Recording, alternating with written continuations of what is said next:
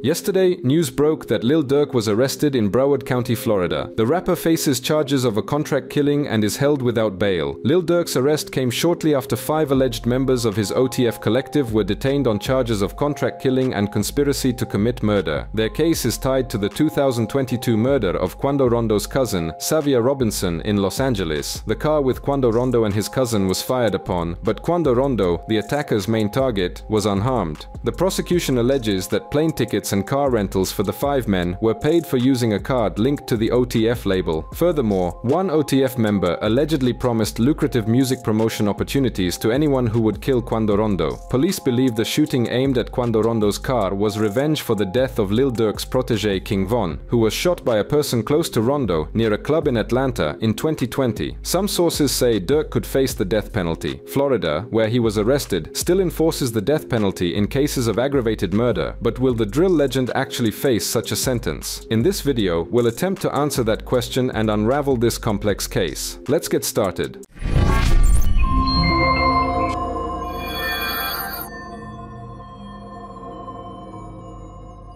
The most famous drill artist may spend the rest of his life behind bars. This week, Chicago rapper Lil Durk was arrested on charges of a contract killing involving rapper Quando Rondo in Los Angeles in August 2022. Instead, Quando's cousin, Lul Pab, was killed, which led to his desperate cries at the scene. Durk later included those cries in the intro to an unreleased song, delighting the same audience and rats on Reddit, who now call Durk a fool for getting involved in this conflict.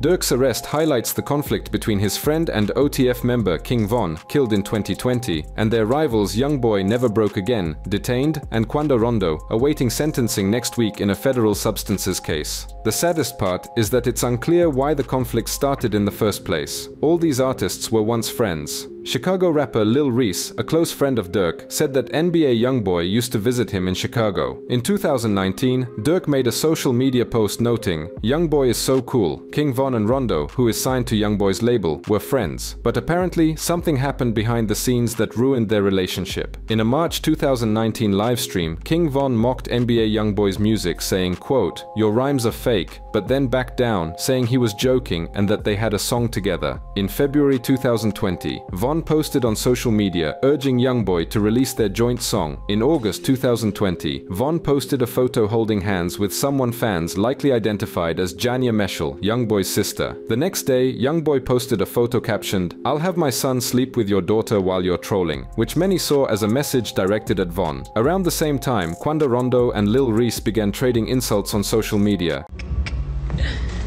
Man, ain't gonna do nothing to me.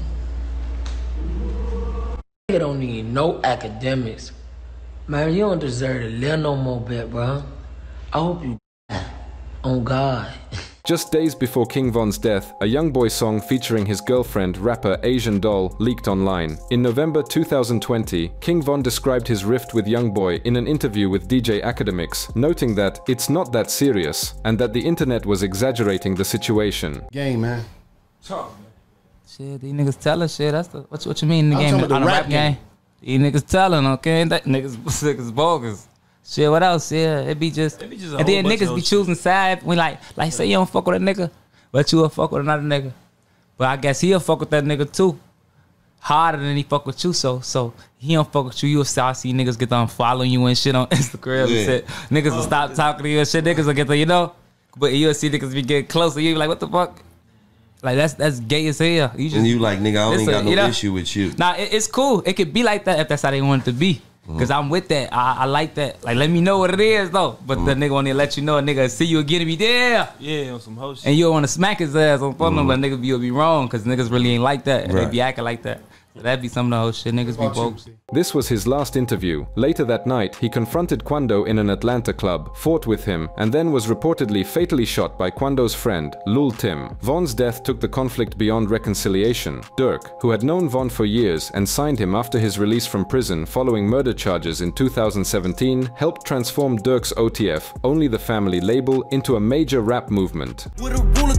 Boy, don't play with me, this bitch a hoe. At the store, you know how. In the following years, Durk, Youngboy, and Quando exchanged jabs on social media and through diss tracks. Fans fueled the feud, calling for vengeance for King Von. To these fans, who often view rap-related street violence as a reality show, King Von's death wasn't a sign that things had gone too far. It was just another plot twist. Everything that happened between them before King Von's death seems to have been some form of competition that rappers usually outgrow, but which then escalated into a deadly feud. Not all feuds end badly, however. For instance, 50 Cent and Fat Joe had a conflict in the 2000s that seemed likely to turn violent but was eventually resolved, and they now appear close. Last February, 50 Cent told Rolling Stone that growing up made him realize he was wrong to pursue Joe in that way. He also said he understands what's happening between Durk and Youngboy, calling it their street mentality. On Friday, new details emerged about Lil Durk's arrest. The Chicago rapper was detained just an hour before his scheduled flight to Italy, as shown in new documents obtained by NBC Chicago. According to the FBI, authorities were alerted by US Customs and Border Protection that the rapper, whose real name is Devontae Durk Banks, was booked on two international flights on Thursday. One was from Miami to Dubai and the other from Fort Lauderdale to Switzerland. However, neither flight took off. Agents reported that Banks later booked a third flight on a private jet, scheduled to depart Miami for Italy, but he was arrested in the departure area an hour before takeoff. The Chicago rapper had just performed at the birthday bash event. Charges against Banks for contract killing surfaced as five members of the Chicago group Only the Family, also known as OTF, with whom Banks is closely associated, were charged as co-conspirators in a contract killing conspiracy in Los Angeles, California. A grand jury charged OTF members Kayvon London Grant, known as Cuz or Vonnie, DeAndre Dontrell Wilson, known as Diddy, Asa Houston, known as Boogie, and five unnamed accomplices, along with Keith Jones, known as Flacker, and David Brian Lindsay, known as Brown Eyes, described as members of other Chicago gangs. The indictment claims the men offered a bounty for rapper Quando Rondo, known as TB, in retaliation for the murder of another Chicago rapper, King Von, who was part of OTF and collaborated with Lil Durk. Some artists, like Bricc Baby, claimed in a track that Lil Durk offered a $1 million reward for Lil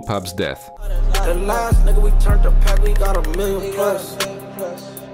There is also information that OTF rapper Jam gave testimony against Lil Durk and was later taken into police custody as a valuable witness. The murder case of rapper 051 Melly Melly, nicknamed Steph, is also being investigated in parallel. He was killed by a member of another gang named AJ. This killing was ordered and is considered revenge for the rapper D-Thang, and it was likely also arranged by Lil Durk. A few days later, the well-known song ah Aha was released, where AJ appeared in the music video. Slide, slide, man, won't respond to shit.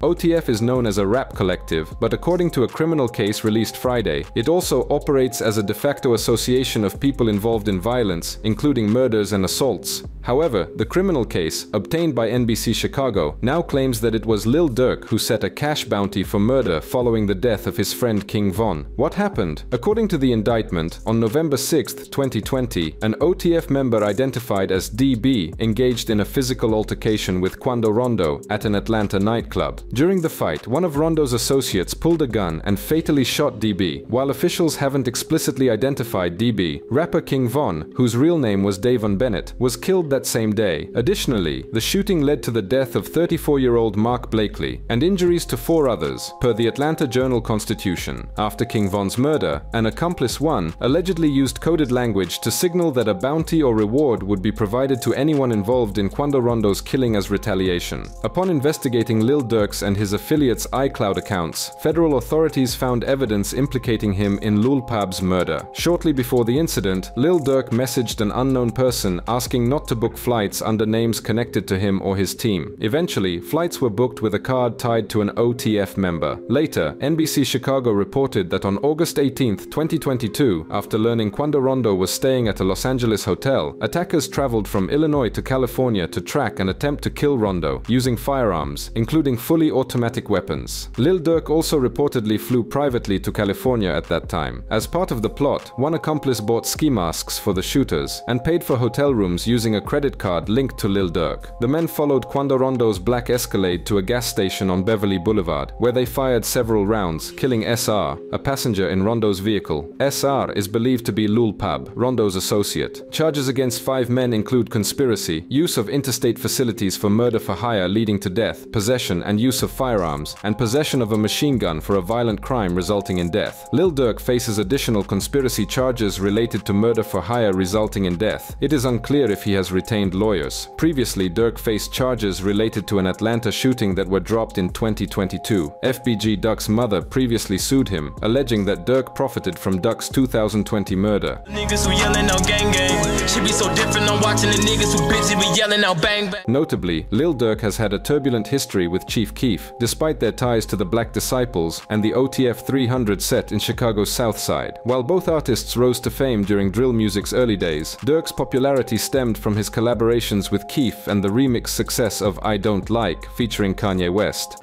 Chicago niggas. Smile in my face is what I don't like. While Durk and Keef found success, their collaborations were limited. Durk established his own OTF movement instead of joining GBE, differentiating between OTF as a movement and OTF 300 as a gang. Despite early associations, Durk and Keef took separate paths, with Durk's career increasingly independent of Keef's influence. Tensions between Durk and Keef intensified in 2013 following Durk's gun possession arrest. Allegedly, Keef's failure to bail Durk out caused a rift, with Durk later making subtle jabs at Keef, even mocking his choice of transportation. The conflict flared up further when a fake Instagram account impersonating Keef insulted Durk, resulting in Durk threatening Keef's friend, Capo, who attempted to mediate. Durk later escalated the feud by referencing Keef in a verse on the Chiraq remix. My hood. If you touch me, you get murked. We ain't with that back and forth. It ain't no. Ultimately, this could have ended as violently as the situation with Quando Rondo, but the two managed to de-escalate their feud in 2014. In another media-related controversy in 2023, Lil Durk challenged Tekashi to a $50 million boxing match, stating he didn't want Tekashi hurt and suggesting Dubai as the venue. Tekashi responded, claiming Durk sought attention for an album release, countering with a proposal for a free one-on-one fight in Miami. Tekashi, by the way, sometimes crosses all possible and impossible boundaries, openly inviting trouble. Diss tracks from Tekashi toward Lil Durk appear constantly, and the rapper doesn't hold back from other provocations, including in Chicago itself. Nobody could touch me. I went to O Block. At four in the morning though. Four in the morning. I was there. I was chilling. I should call this shit no block. It's 10 o'clock. Where the fuck y'all niggas at? Cause now we saw the surveillance video. You was there for like 30 seconds. Nah, it was actually like 15. After the death of King Von, a close associate, Tekashi did not hesitate to react to this news with an emoji. Then, he went even further by finding a Lil Durk lookalike and putting a bomber jacket on him featuring an image of King Von, as if to reproach Durk for not being able to protect his close ones and label mates. Game, man. talk. Shit, these niggas telling shit. That's the what, what you mean in the I'm game talking about on the the rap rap game? These niggas telling, okay? That niggas niggas bogus. Shit, what else? Yeah, it be just, It be just a and then whole bunch niggas of be shit. choosing side. We like, like say you don't fuck with a nigga, but you will fuck with another nigga. But I guess he'll fuck with that nigga too, harder than he fuck with you. So Obviously, this kind of behavior from Tekashi will sooner or later lead to a confrontation in real life, and when that happens, he'll need to pray to come out alive. That's why, immediately after being released from prison, Hernandez hired an expensive security team that accompanied him literally everywhere. But let's get back to Lil Durk's arrest. The aforementioned 50 Cent has many parallels to this whole situation. His upbringing in South Queens attracted many of his fans, as it's a dangerous neighborhood. Gangster rap pioneer Ice-T even called 50 Cent the last gangster rapper. But in 2024, there are no long-term reasons for an artist's main appeal to be their ability to shoot a competitor. Fans who follow Reddit pages and watch videos with shootouts want to see artists walking the metaphorical tightrope between art and reality. They want to feel that Lil Durk's lines about contract killings refer to someone specific, and when an artist inevitably stumbles during this act and falls from a height, sometimes fatally, it's entirely their fault. In the end, people die because of stupid conflicts and online beefs, and if they don't die, they end up with huge prison sentences. For example, Rolling Stone magazine believes that drill rap is a dead-end branch of development that artists no longer need to pursue. This isn't a statement about artistic value. Drill has given us geniuses like Durk, Chief Keef, G Herbo, Sheff G, and Pop Smoke, while artists like Cash Cobain and Ice Spice have expanded this universe. But the drill scene overall has become too tarnished by criminalization. There are too many fans who view rappers as racist, hyper-masculine caricatures that disregard the value of life itself, and there are now more prosecutors than ever waiting to catch artists in the next gang-related indictment. Much of the violence on the streets happens because people are defending their reputations, and unfortunately drill music is so closely tied to street violence that these behavior patterns have bled into the fan community as well. Instead of this situation raising concern, it has become entertainment that artists feel obligated to play into. In the track Wonderful Wayne and Jackie Boy, Lil Durk raps, quote, I don't argue on the internet, that nonsense goes on for years, yet he still occasionally played with fire just to let people know who he is, a gangster.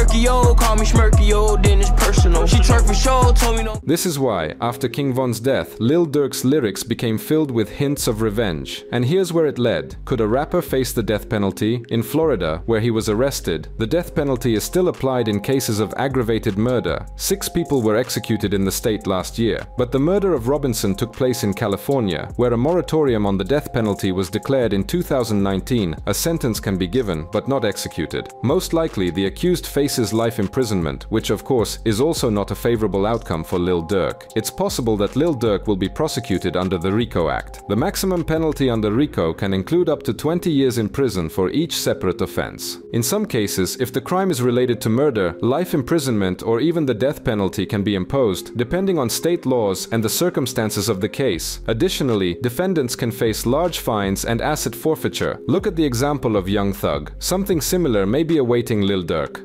Fast shit ain't no thoughts with us. Chanel round shades like binoculars. That's all for now. What do you think about the situation with Lil Durk? Write your opinion in the comments, like, and subscribe to the channel. Bye everyone.